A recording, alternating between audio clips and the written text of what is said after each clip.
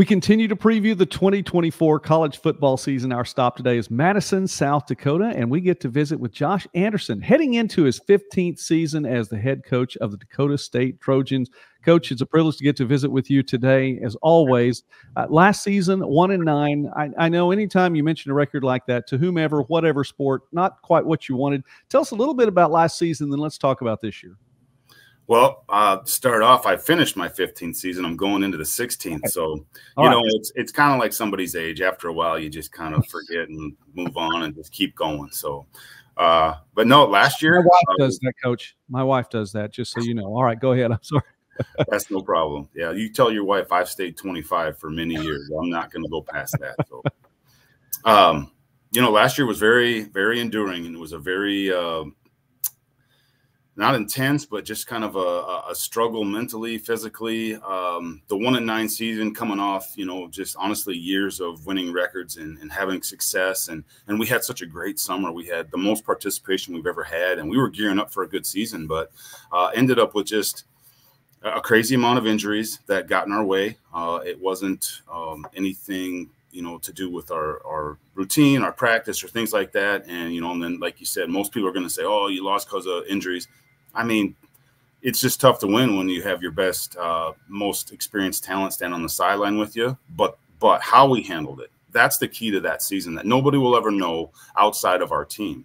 You know, the one win was honestly a tremendous win for us. I mean, we're at the end of the season and our guys could have folded and quit and just, you know, kind of went through the motions, but didn't and found a way to win our second to last game of the year.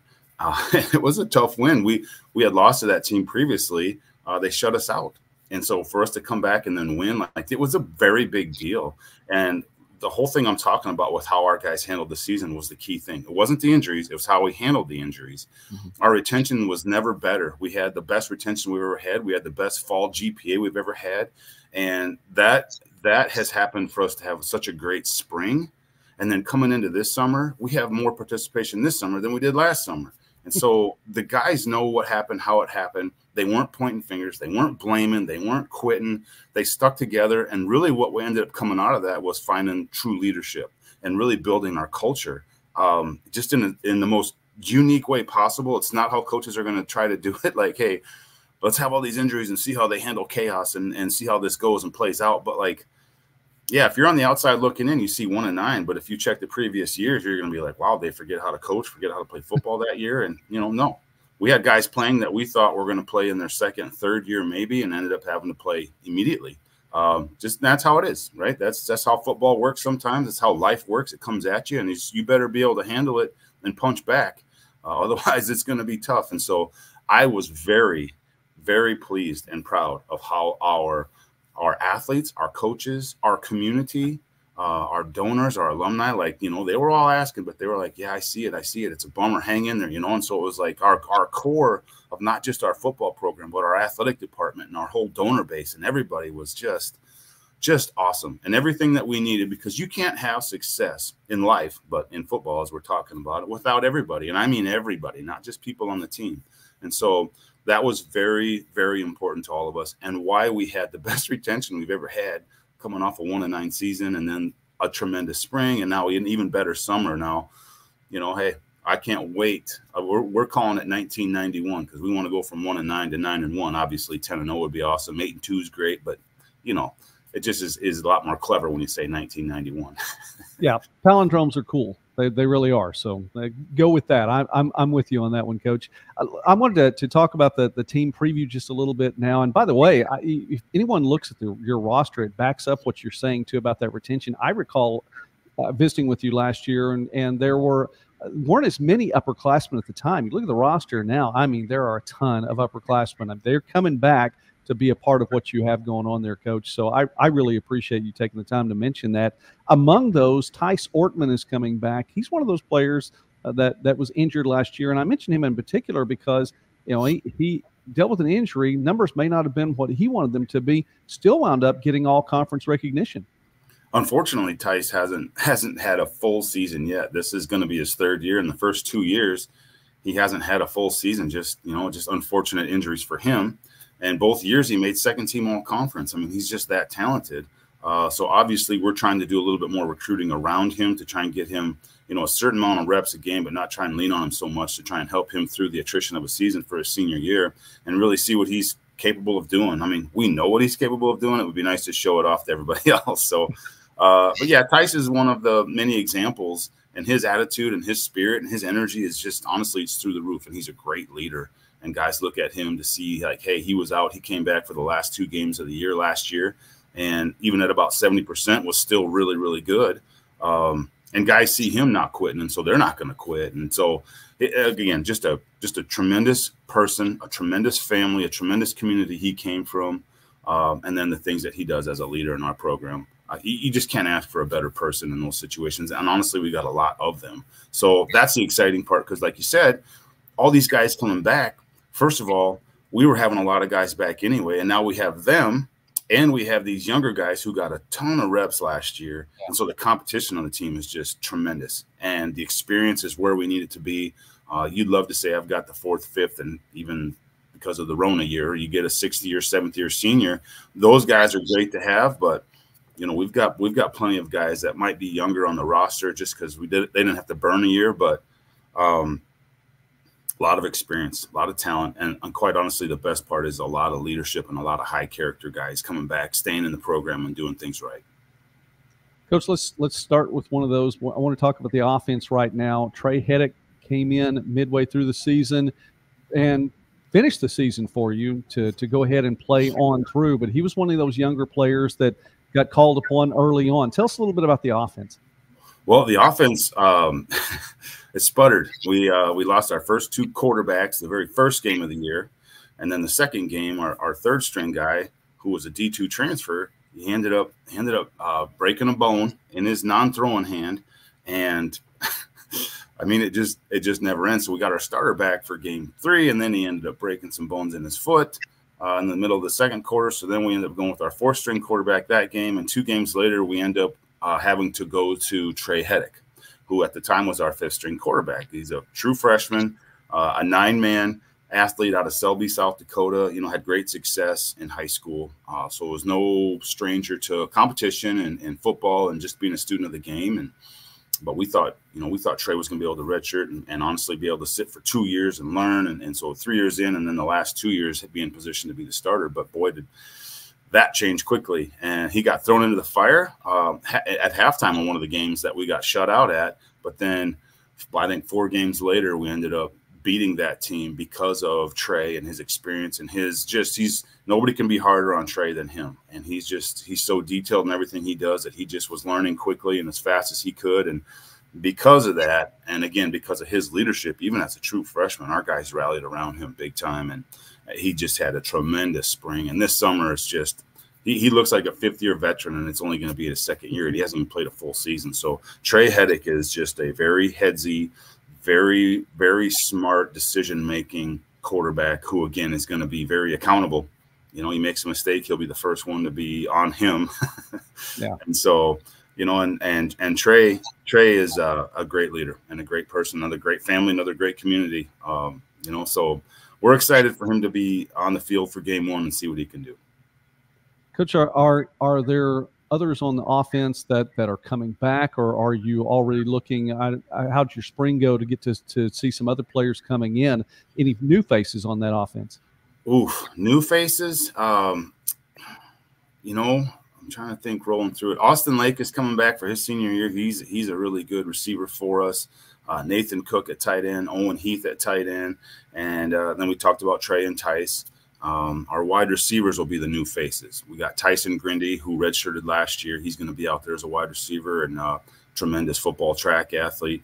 Um, and the other wide receiver spot right now is kind of open. Uh, we've already had some summer tweaks with the injury, so we kind of got to find out who's going to be here in the fall. But honestly, we've got four or five to choose from that we know we can trust that can be out there and do really well. But then through the offensive line, obviously the key there. Um, from left tackle Tyler Jetland, um, he's back. I just I don't want to miss any because honestly don't know who's going to start yet. I have a kind of an idea, but we've got a lot of competition there and a lot of good guys that can get the job, job done. So, um, you know, Sam Sather, uh, Mr. O'Neill on the right guard, and then we got uh, Uzil, uh, Ruiz uh, at the right tackle, and then Joseph Taylor was our left guard, and Josh Schaefer was our center, and and I think I already said Sam Sather, but if I didn't, I mean I throw his name out there, and and we've got some young guys coming in who are here this summer already and just doing some some serious competition already. So that's what I'm saying. I really don't know, but I know our offensive line is bigger and stronger than they've ever been, and so that's exciting. I, I know that uh, our skill guys are super excited about that to have those big boys up front. So, uh, but they're all back, and it's um, there won't be one one true freshman out there this year, which might be for the first time in a long time. So that wow. is going to be great. Now, when you get experience on the line, either side of the ball, that that that goes a long way. We're visiting with Coach Josh Anderson from Dakota State now, heading into his 16th season at the helm there for the Trojans. I know that you get Brooks Jansen back. Of course, you know we were talking about players that are coming back from from injury. You get him back though for for a new season. Uh, Jay Skogerbo, among, um, among those who had a good season for you last year. Talk about your defense heading into 24. Well, you know, our defense was probably as much as we've just talked about the offense being down to our fifth string quarterback. We got down to our fourth string running back. Uh, I mean, we were rolling through guys. It was unfortunate, but uh, our defense was actually far more banged up than anything. We run a 3 4. Um, two of our starting D linemen were out for the year. Uh, three three of our starting middle linebackers were out. Uh, and then we had uh, two of our outside linebackers had to kind of rotate through every year. Three of our starting defensive backs were out of the four. Like we were depleted, and they still hung in there. They're tough kids. They're they're they're they're full of grit, you know. But now that we're healthy this summer. Jay Skogerbo back at free safety is a, a fifth year senior for us and just a, a four year starter, uh, a tremendous, tremendous worker. Uh, and with him, I think we'll probably be Caden Nang. We're still kind of going through that too. But again, it's kind of like the offensive line. We've got a lot of guys to choose from through our recruiting and through our retention and the guys healing up in the healing process. Uh, Tamarion Foster is another one that can play safety or corner. We got Blake Duran, Michael Foster out there at corner. Uh, we've got some new transfers that have come in uh, this summer and making an impact, and, and it's going to be tough. It's going to be tough because we've got a lot of good competition to choose from. It's a good problem to have. Um, but then in the middle, we moved uh, outside linebacker Colin Brugum into the middle. Uh, Terrence Sir has just been uh, tearing it up through this spring and summer. Outside linebackers kind of up in the air. We got uh, Chris Guipi. Um, uh, let's see here. Who else would be out there? I don't know who's going to start. That's the key thing. I'm trying to. I'm trying not to just say names and let guys see this and think that they're going to be the starters because it's still kind of up in the air too. And so I get it, coach. Yeah, uh, but like I said, we moved Colin Brueggemann from the outside linebacker to the inside, and and Chris started last year, so I you know I, I say their names, but um, you know, on the defensive line, like you said, Caleb Dwyer will be back. Brooks Jansen had to sit out the entire last year, and he's back and healthy and tremendous. His brother, who sat out two years, is now back, Brandon Jansen.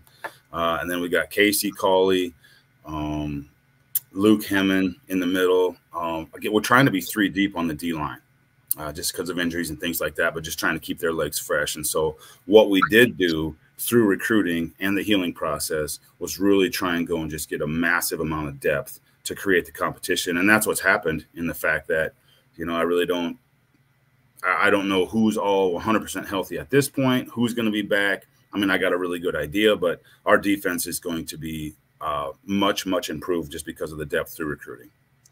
Coach, let me pause there just for a moment, too, and, and ask you this question. With a 3 4 like that, I mean, how big is it to be three deep there on the line? I mean, I would think that that's more than just a luxury. That'd be something you'd, you'd almost have to to to be pushing toward. Yeah, and on defense, the defensive line is the hardest to get. Kind of like on offense, it's the hardest position to recruit is the offensive line. Everybody needs them, and if you have any size at all, you get some big scholarships.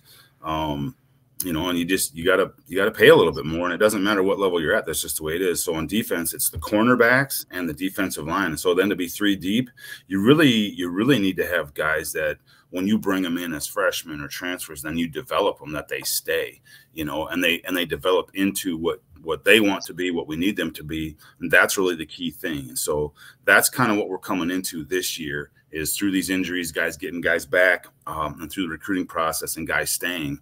Now we're starting to see that depth really, really show. And so, yeah, it, it, we had a four-three for probably my first eight, nine years while I was here, and to even be too deep, you know, that's that's eight guys that mm-hmm. you need on the defensive line. So we ended up going to a three-four defense, you know, and then to be three deep, you're only at nine. So even if you're too deep with quality guys, that's six guys. And so we really just tried to make that work for us with our recruiting process and with the area that we're in, because and this isn't a negative thing, but the guys who are 5'10 to six foot to six one and from 160 to 200 pounds, I mean, my goodness, they're all over the place in the Midwest. And so we thought, why not have more of those guys? We can recruit more of those guys. Let's get more of those guys on the field through a 3 4 defense, through inside and outside linebackers, and even some strong safeties. And it's worked out tremendously for us. Well, special teams, uh, you were talking about uh, free safeties. If you look at the roster and you look for Aiden James' name, you see free safety by there, but he was your kicker last year. Tell us a little bit about special teams heading into this season. Well, Braxton Locker is actually the head of our special teams. I'll tell you that. He's our short snapper, long snapper, but that guy is Mr. Energy uh, all over the place.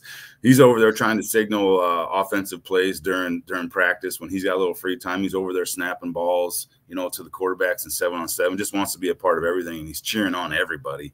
So when offense is going against defense, he doesn't know who to cheer for. Whoever makes the big play, he's jumping all over him. But that's just who he is with his excitement level. But um, having him back is key. And then uh, Josh Smith um, was was a little bit injured last year and had some tweaks in his hip and his and his thigh, I think. And so so to have him back and have him healthy is good. Um, but Aiden James last year, yeah, he did the kicking off and the PATs and field goals for us. Did a great job. Um, but he is a he is a free safety. Came here to play free safety, but obviously stepped up for us when we needed him to. And then Cole Sillison, who was a receiver for us last year, did our punting and did a did a great job. Um, so, but there there wasn't much that Cole Cole Silison. I don't know if I said the right name. I think I said Cole Paulson. no. Cole's a great guy. He's outside linebacker on defense and a tremendous uh, guy as well. So, but Cole Silison was our punter and wide receiver. So, um, but again, the guy that just stepped in and helped us out wherever he could. You know, no complaining, just hey, I can do it. Let me let me step in here, and he actually had a really good leg. So, uh, worked out but he's gone, and we moved Aiden back to free safety, and we, we've we've brought in some. Uh, we've got some guys healed up, and we brought in a kicker to to do all that kicking for us and take care of those duties. And we're pretty pleased with what we see already this summer. By the way, Cole Sillison, and you did say it right, Coach. Uh, okay. Champion of character as well. So I mean, I'll throw that out there too. That that's a, a high honor, and always get to enjoy talking about that. Season gets underway seven weeks from today a Thursday game. The Ag Bowl is going to be on a Thursday this time, and you all are hosting Dakota Wesleyan. That's always, I'm sure, a fun matchup, a, a good one to, to lead off the season. And then you go the next Saturday on the road at Nebraska Wesleyan, and then, of course, the North Star schedule gets underway for the final time, by the way. Uh, Jamestown coming into the conference this season, and you get to host them on September 14th. Tell us a little bit about the opening of your season. Well, Dakota Wesleyan, you're right. It, it's just a fun, uh, it's a fun rivalry game. I don't, and I don't know how they look at it. Uh, if, if, you know if it's a hated thing for them or not, I, I really don't care. Like to us, it's fun. Uh, some of those guys that I mentioned, they're teammates, and we've got brothers on one team and on the other. Uh, it's a it's a fun event for the crowd for the guys because we recruited a lot of their athletes they recruited a lot of ours so we know each other we've been on you know the, our guys have been on visits over there and vice versa and so um, the reason it's a fun event is because no matter if we're playing in Mitchell or Madison, it's a good crowd and it's a it's a big deal and it, it's a big event around the state and we get a lot of people watching it and talking about that game. Um, so that's what that's what our recruits want to play in front of are good crowds, big crowds, good excitement. It's on TV, you know. It's just a it's a ton of fun. It's an easy to recruit to as well. Um, then that first game, all right, that's the tough part about, in my opinion, that's the toughest part about that game and that rivalry. It's the first game, and so you got a lot of things that you got to get ironed out.